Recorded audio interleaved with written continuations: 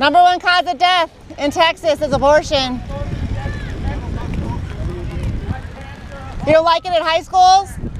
You- said you don't like it, the pictures at high schools? Well, you know how many high schoolers actually end up at the abortion mills? They don't realize that this is what they're doing. Eight year olds know this is a baby, though. Eight year olds understand. But why not? Eight year olds should know that mothers are out there murdering their babies and it's wrong. They can stand up for it as much as my kids can. You know what? They're fine. You can ask them.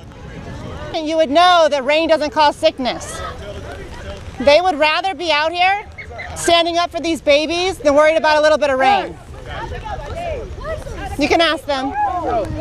Okay. babies are never the first. Well, I just know that we need to stand up for these innocent victims. I don't want to see them either. I do because people are ignoring it. And so I don't want to look at this, but until it's illegal, we're going to be out here. So, okay. Yep. Did he did he do a thumbs up for us? Yeah, he agrees abortion's wrong. He doesn't like that we're out here, though.